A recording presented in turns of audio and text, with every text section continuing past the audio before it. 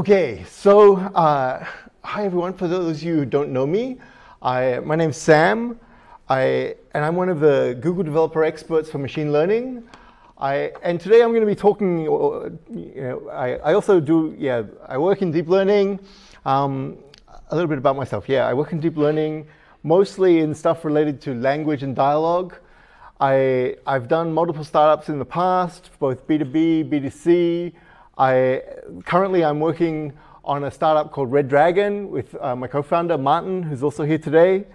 I, and so, what does Red Dragon do? So, I we do a number of different things. We're doing uh, deep learning consulting and prototyping.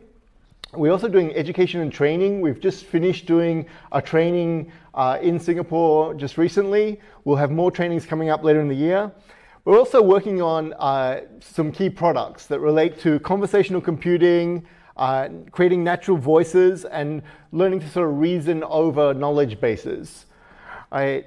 So today's goal is I want to basically go through sort of some of the key steps. Whoa, why is it not coming up?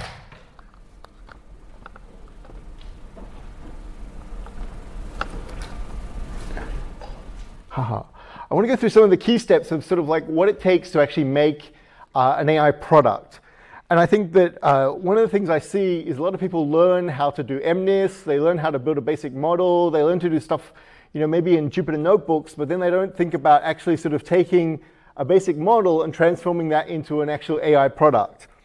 I, so I want to sort of discuss some of the real world challenges, and I'm actually going to do it with a, a real world example that I built about 10 days ago. Um, so I gave this talk last weekend in, in Bangkok at the AI Day there. Uh, and I built this just a couple of days before that. So it, it, you'll see how it goes. Anyway, um, so Google, pretty much all of Google's products now contain some form of, of machine learning or deep learning. I, one of the classic examples was there's this slide that's actually very old now. This is almost coming up on almost two years old that shows the, the number of repositories inside uh, Google that basically have a, a, machine learning or deep learning or ideally TensorFlow uh, in the, that repository. And it's well over 6,000 now. I think it's getting close to 7,000 or more already. And basically, you know, deep learning is now being used inside Google for all these different uh, products. And certainly, the reason why I sort of show this is to show you that you know Google is definitely leading the way, but everyone else is following behind. And you're going to see more and more that most products that are sort of digital products, in some way, will will use machine learning. You've got companies like Netflix who are making extensive use of this sort of technology. You've got all different sort of fields, you know, doing that. So what I wanted to do today was basically look at, okay, what are some of the challenges that you have when you're building you know, an AI product? And the first one uh, may sound a bit silly, but this is one of the, the you know, most important ones, I think, is that just can it be done? Is it something that's even possible? So uh, we get a lot of people asking us, you know, oh, can you build something that does X, which is just, you know, like can you build something that, you know, they might as well be saying, can you build something that can read people's minds and then predict the stock market and do all 25 other things in one shot, right? Um, and so the, the big thing you want to do is see like, okay, is it possible? And so one of the other things you want to ask yourself to sort of justify that question is, has someone else done it before? I, another big, and sometimes you'll see that, you know, that just because someone hasn't done it before doesn't mean you should, you know, stop. Uh, but you should be wary of you know things that maybe haven't been done before. Is there data available? I think this is one of the key questions that we're constantly asking clients or people that we work with. Is you know you find time and time again that what people want to do is actually quite doable if they had the right data, and you sort of end up saying to them, well, your business could collect this data, but you need to go away now and collect this data for the next six months to 12 months uh, and then come back with it before we can sort of do something with it. The other things, other sort of questions you ask yourself is like, okay, can you find or synthesize the data? Especially if you're a startup, you're often not going to have a lot of data at the start. So you're going to be looking for ways to synthesize data. Right? And you know, some of the key things I just wanted to sort of point out was that these sort of ways of looking at things are very different than sort of just building a model to learn about machine learning. And also it's very different than academic sorts of things of building a, you know, a paper to be at NIPS or something like that. I, so the way I like to think about it is, can this task be broken down into component parts? One of the biggest sort of myths is that people think that, okay, just because they learn about end-to-end models, that in industry, everything's end to end. Usually not the case, right? Usually you have different parts or different models doing different things. Um, the other question I like to ask is, okay, well, what's your problem like? Is it a classification problem? Is it a regression problem? Is it a generative problem? I, you'd be surprised that a lot of things that will look a certain way can be sort of refactored or changed to be a different way. I, a classic example of this would be Smart Reply inside Google. So the first uh, you know, paper for Smart Reply, well, first of all, this started out as basically an April Fool's joke in 2009. That, okay, Google made this product that would just reply to your emails. Then people started to think about, okay, well, maybe this could be done. And the first sort of academic papers that were looking at this were use doing it as a sequence-to-sequence -sequence generative model. So it would basically read your, your subject line, it would read the text of your email, and then based on that, it would generate a, a bunch of text for a reply. The problem with this was that it would generate three replies, and it turned out almost always that one of the three replies was, I love you. Because it was just safe, right? And the model learned that, okay, if it put that, you know, that was a safe response for a large proportion of things. Um, to get to the actual sort of production version, and again, this is an older slide. Um, I think actually Smart Reply now on mobile makes up about 30% of all replies. I, the, it needed to be changed. And what happened was they actually changed it to be becoming from moving from a generative problem to being a classification problem that it basically looks at your email and decides, okay, for these responses, I will pick one of 29,000 different classes. So it's a very, it's moving from something that's sort of infinite to something that's very finite. And you know, I must admit, when, when we first heard about this, we were quite disappointed because the academic paper was so amazing uh, at the time that we thought, oh wow, if Google's actually got this working, this is going to, you know, this is, could be a really big step along the way to, you know, a whole bunch of different products. Um, but it turned out in the end that, okay, I, it was just turned into a classification problem. And this is something that's very common in when you're building products like AI products for the real world.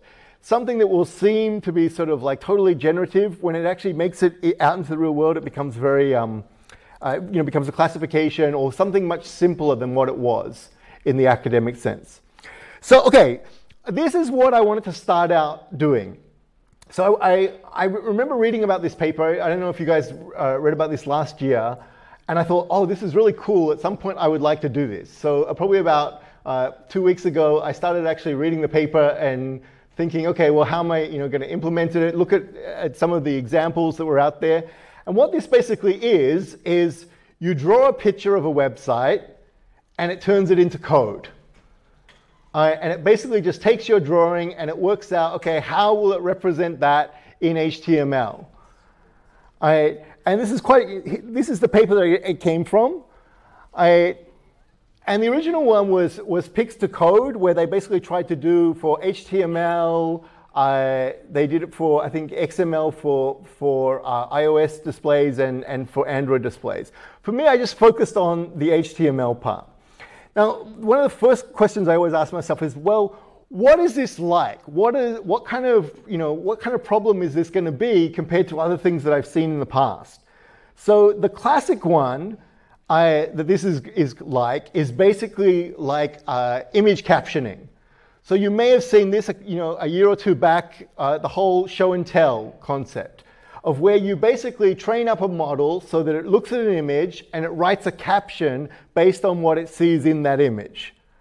I, and you can see that it's pretty amazing that it, it has the ability to look at this picture, and even though we can't sort of see any, any sort of string or anything between the, the human and the kite, the model is able to work out that, okay, if the person's facing the kite, if the kite's a certain height in the air, then it probably is the person flying the kite.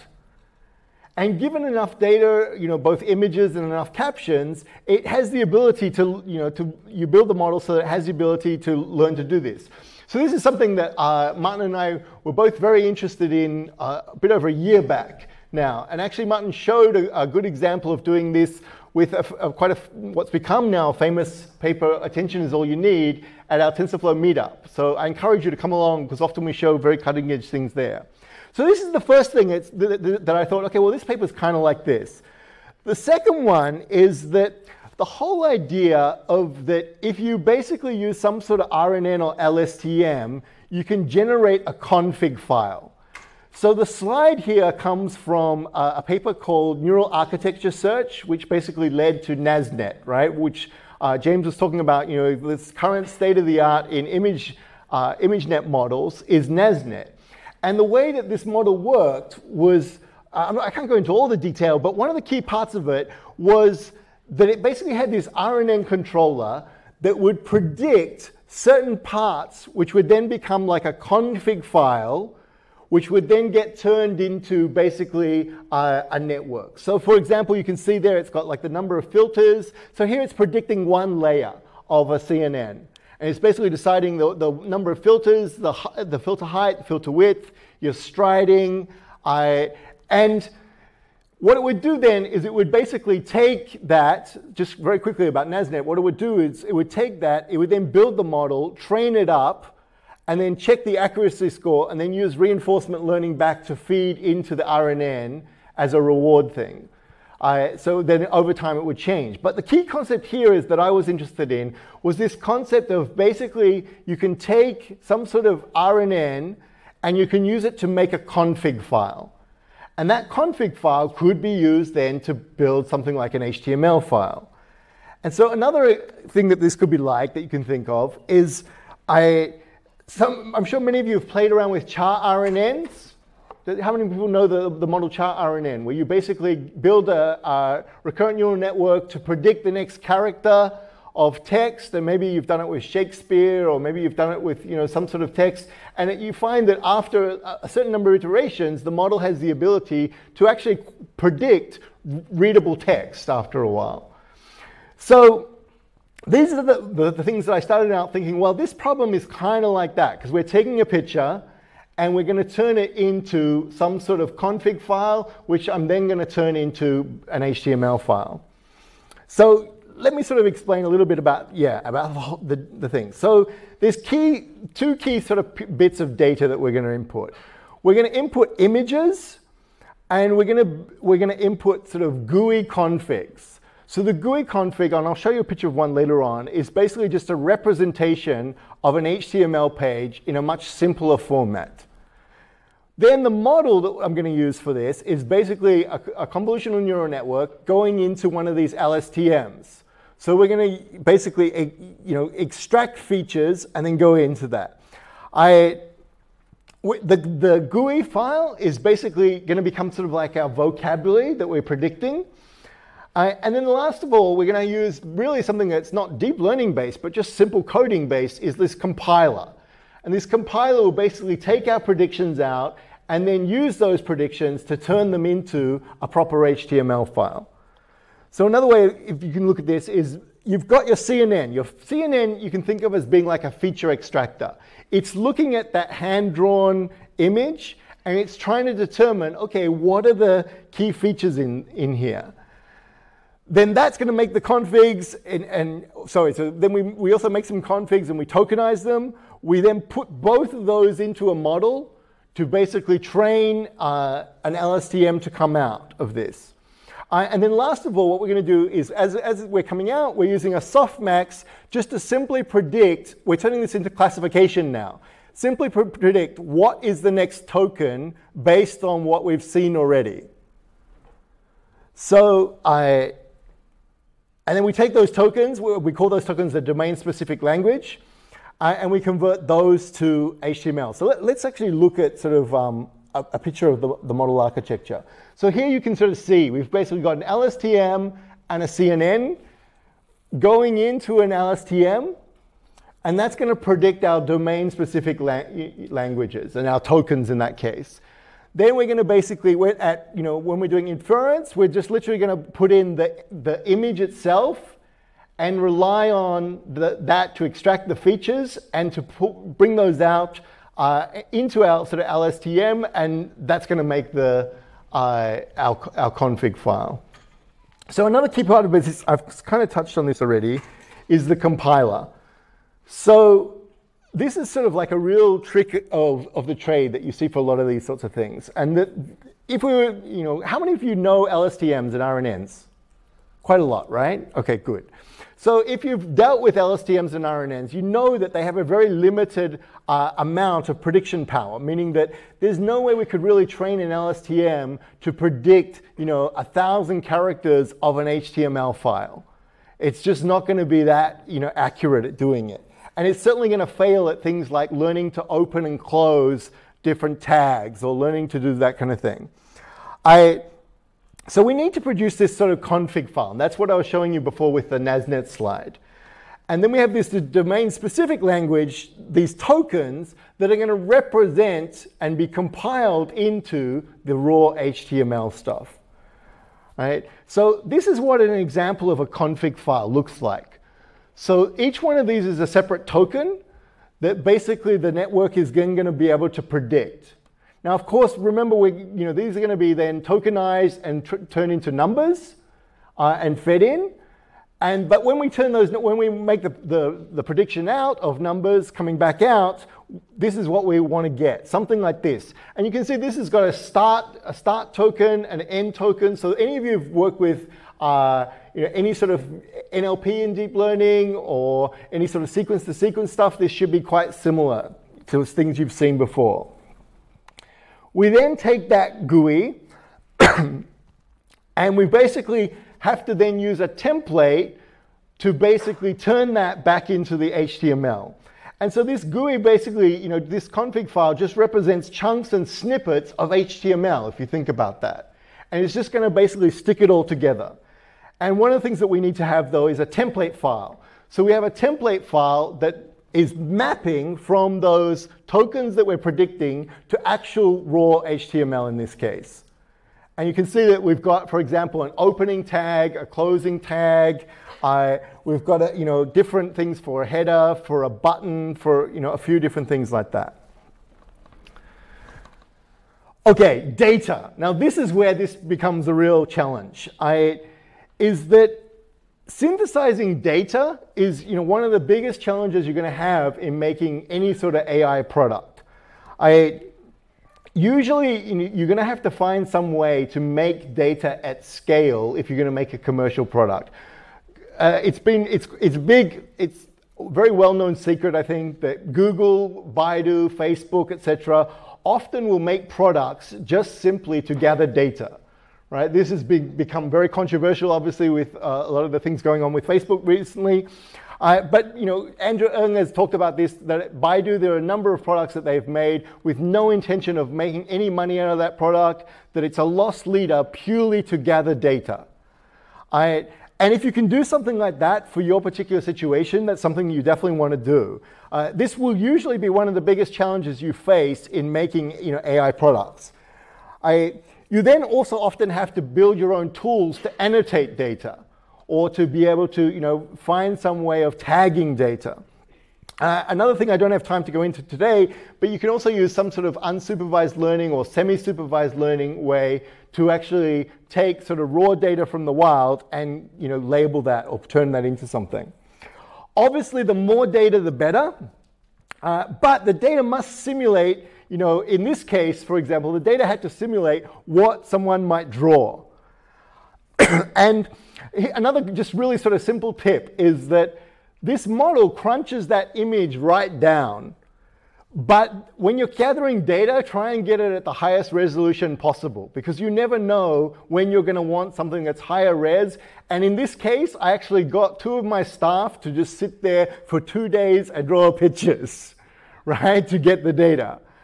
And if I had then gone back to them and said, oh, sorry, the image is not, you know, high res enough, I, they would have been pretty pissed off at me having to do that again.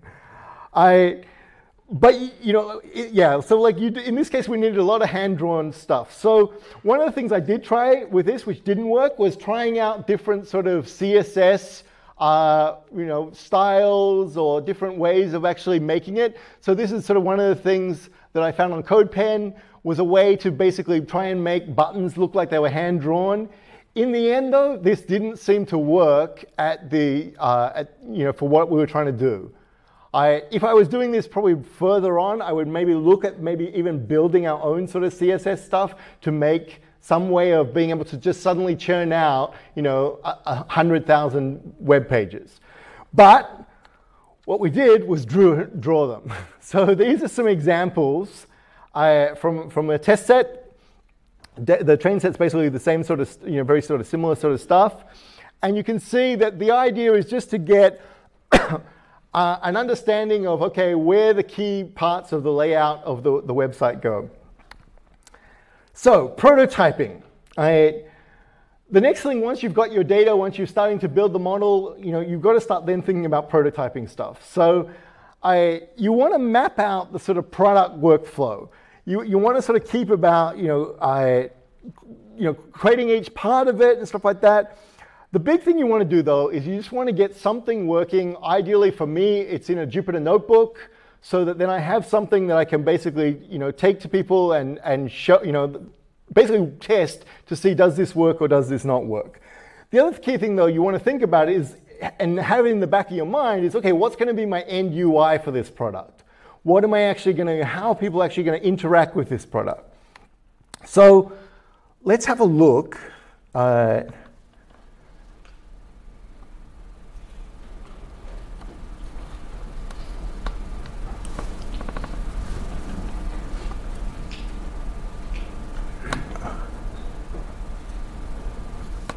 How's that for size?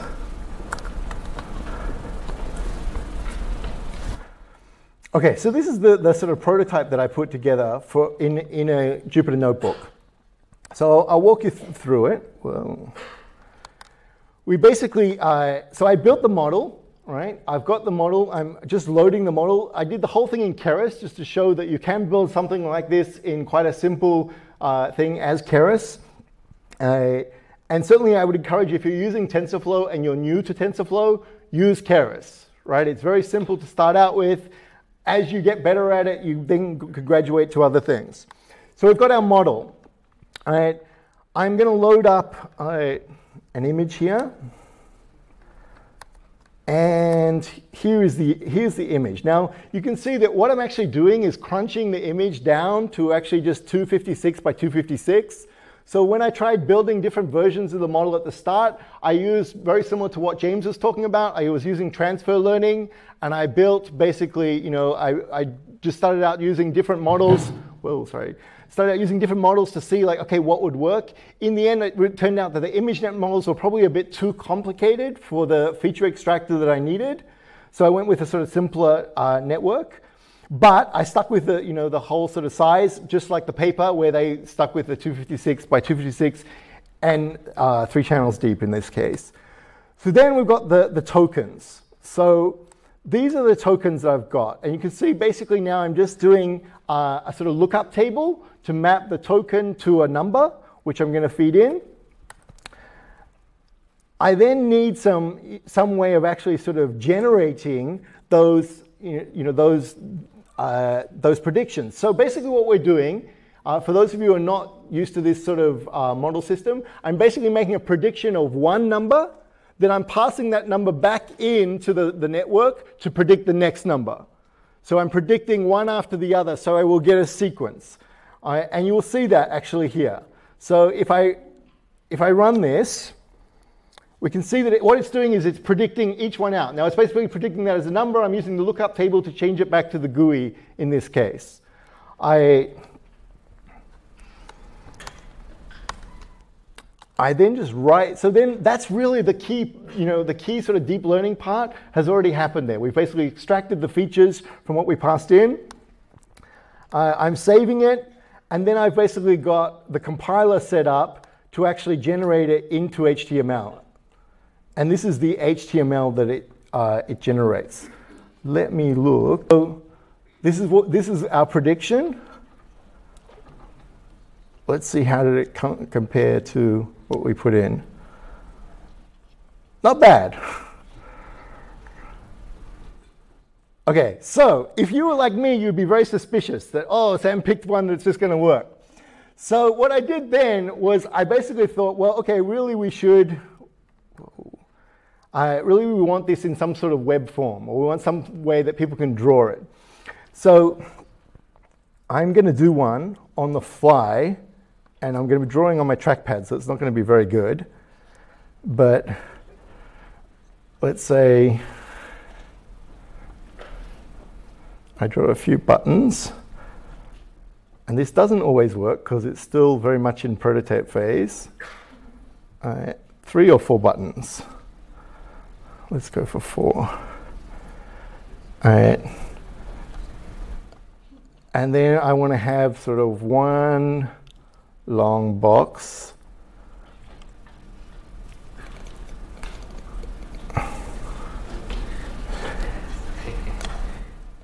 Uh, not exactly neat. um, we have a heading. We want a bunch of text there. Uh-oh. Uh, we have a button. Um, I tell you what, actually that's too similar to the one that we already did. So let's add some more stuff. We can add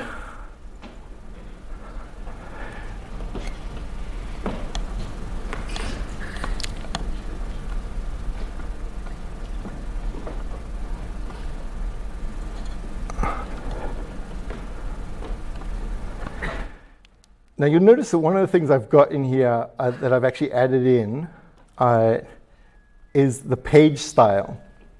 So we can actually then sort of say to this, we can pass in an argument or a condition of what type of page, you know, what type of page do we want this to be.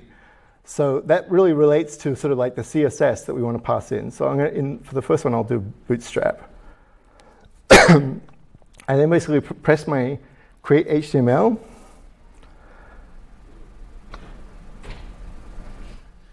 And you can see this is definitely not as neat as the one that, uh, you know, the, would, the, the training examples or the, even the test examples.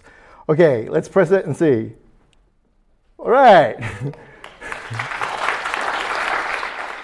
so did it get the buttons right? Yes. When I did it last week, it added an extra button for some reason. um, I'll just quickly go along and show you. Though we could actually add even more to this. Uh, so the, the model can actually take you know, quite a bit. And this is sort of just to talk about this while I'm doing drawing. You want to sort of stress test your product, right? In the real world, people would, you know, are not going to draw nice and neat. Right, so there's no point in sort of trying to you know, draw neat or anything like that. You want to basically uh, do it as, as, as, as much as a real world scenario will do. And this is one of the challenges that I see with things like, you know, I, I work a lot in things to do with dialogue and stuff. Uh, and people, when they build chatbots, will think that humans are going to re respond one way and humans respond a totally different way. All right so you always want to try and gather as much data as you can from the, the, the, wild. And actually, one of the things I actually put into this is that every time I draw something here, or every time it basically we create an HTML page, we actually save the image as well. So that then if we, if we were looking at it and saw that, okay, uh, it got this one right, it got this one wrong, uh, we could actually go back and sort of use those as training data for things going forward. And this is a really common sort of thing for, uh, you know, that Google does, that a lot of other big companies do. So let's try material design. I don't know how well it's going to do with material design. I, all right, let's to create HTML. It's thinking, thinking. Another challenge with this is, is that, okay, for example, this response time is just way too slow for the real world. So if I was going to release this as a, you know, as a startup or as a product or something like that, I would definitely need to be looking at optimizing for speed. All right. All right. Did it get it all right? Yes. Okay. Um, let me go back to the presentation. So where to from here? So, okay, I've now got, you know, something uh, that's a prototype. If I wanted to take this into production, there would be a whole bunch of different considerations to think about. And this is where you're going to be working with product managers, with, you know, other types of people who are maybe not, not going to know a lot about the deep learning or your machine learning or any of that sort of tech. But for example, this product, would this product be better as a mobile product versus a web product? In some ways, I think I could probably sell this as maybe an iPad app, uh, you know, or something like that. I, or what this product might be good is making an iPad app for some sort of web hosting services to give away for free, but it only generates you know, files that work on their web hosting, that kind of thing. Um, you want to think about uh, you know, microservices versus monoliths. I'm not going to talk about that much today, but generally you want to sort of, uh, with a lot of these sorts of things, you would want to have you know, the TensorFlow running on maybe a microservice or on TensorFlow serving, like James talked about. You would want to think about, okay, the, you're going to use a GPU or not. Obviously, when I was, the reason why it was taking so long is I was doing the inference on my CPU here, so therefore it was taking a lot longer to, to actually work. If I was doing that with a GPU in the cloud, I could get the speed much quicker. But then also I need to think about you know, the cost per API call. And especially if I'm doing something at scale, those sorts of things become really important. Your model size. You always want to be optimizing for smaller models, faster models. One of the tricks for doing that, we don't have a lot of time to talk about today, is you often train a big model and then you train another smaller model to learn from the big model. I, and that's, that's a way of being able to get around a lot of those things. So if I was doing a mobile version of this, I, I definitely want to be using something like TensorFlow Lite or Core ML. Um, if I wanted to make it for, you know, I could also then add in the bits for iOS or for Android, meaning that I could actually make layouts for Android apps or for iOS apps. One of the things I wouldn't personally do this, so I, I actually uh, have had a lot of experience in mobile, Certainly on iOS, no one really uses the stock uh, you know, Apple widgets anymore. People tend to make their own. So I kind of feel like that wouldn't be a big advantage in doing that sort of thing. Um, if I was making it for the cloud, where would, I, you know, where would I deploy those HTML pages to? At the moment, it's still just all running local. Business considerations. Um, just now, this is one I think is really important. Just because you can make something that's technically great doesn't mean people will use it. And I actually kind of feel that this, this particular product falls into that category. I, that I kind of feel like it's a really cool gimmick and it, you know, it looks really cool, but how many people would actually use it to design their website? Probably not many, right? So you always want to be thinking about, will, you know, will people pay for this? I see this all the time when I'm you know, mentoring startups and stuff that I see often they will make something that's maybe technically very great, but really in the real world is no one's going to pay for that product again, you know, is it a painkiller? Is it a vitamin? It's kind of, you know, um, does the ML or AI shine more than the actual product? This case, I think it does. And I'll tell you a perfect example is like when I show it to you guys, you understand that, oh, there's a lot of, you know, hardcore deep learning going on there. I show it to the average person on the street and it gets one button wrong and they're like, oh, it sucks. it doesn't get it right. Um, so you want to sort of think about, you know, th those sorts of things. Um, from a more research perspective, the other thing that I think would be really cool for this is you could actually develop a GAN to do this. Um, this is maybe something I'll play around with in the future. Uh, you could actually build a GAN for both making training images and also for making the different types of GUIs. Uh, you could also build a really cool system to be able to basically just go out and crawl current websites and use that to make training data for you so that people could actually you know, do things. Um, another thing is you, that I would definitely want to add more tags to this. So at the moment, I don't have any sort of image tag. So really what I should do is have a box with maybe a cross through it, and that would be showing that, okay, we want an image there or something like that. Anyway, some tricks of the trade. I follow Google's example, play to your strength. I, Google is definitely the king of search, and they tend to turn things into a search problems as much as possible. I, while I've signed a number of NDAs with Google, I can't tell you, you know, sort of anything secret, but I would say that, you know, one of the things that we've definitely learned over time is that Google will often turn things into a rank and retrieve problem or some sort of search problem uh, rather than just a straight out prediction problem. So that's something that you should you know, definitely think about. And obviously Google Home really is just a big massive search engine in many ways. I play to your data. Make things that you either have the data for, can get the data for, can steal the data, or can create it. I, this is by far, you know, when, when you see uh, AI startups and stuff like that, the, it really comes down to, okay, do they have the data? Uh, do they have a unique set of data that will allow them to do this sort of stuff? Medical data can be really hard to get, yet so many people I see trying to do the medical thing and the radiography thing, really when a lot of the models now are just becoming like off the shelf, you can take the best model from Kaggle, it really comes down to who's got the data to you know, be able to implement that. I, getting millions of examples of something that you need from the public is really, really hard. So that's something that you also want to think about. And that's it. I'm happy to take some questions. There's some links to the original paper and original implementation of the paper as well. Okay, any questions? One right at the back.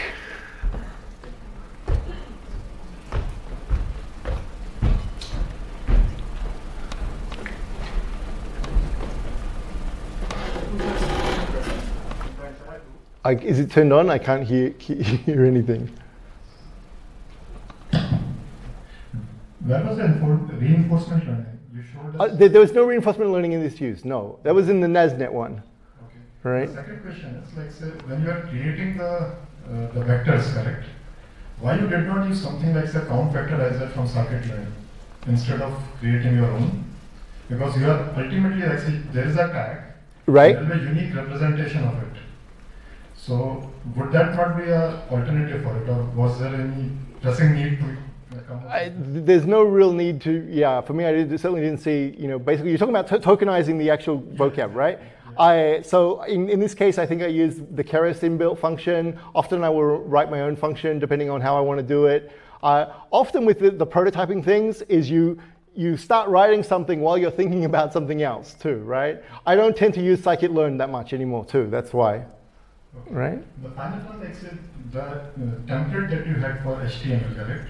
The ability to create different shapes will be limited by what all shapes or characters you have in that template. Because if I look at a Wikipedia example, when we do tokenization on Wikipedia, right. we are only able to give answers for the for the type of text which is in Wikipedia. If we go out, the answers are not very good. So your ability to create shapes will be restricted by the whatever elements you are having in the HTML. Okay. Yes. So in this case, I basically went for about I think it's 18 tokens that would define an HTML page, which is what the paper actually did, there's no reason that why you couldn't build that up to say, you know, double the size or even maybe triple the size quite easily.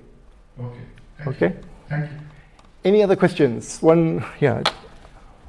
Um, hi, good afternoon. My name is Ash. Um, I'm very interested to find out, um, like, when you pre-process the data, was there a particular reason why you chose your image to be a three-channel image? Because most of the examples seem to be like a grayscale black and white thing. I, so I was wondering if it would be faster to just... Okay, just simply because when I was using the, the ImageNet models, they were all three channels. So I already had my pre-proc, pre-proc written for that.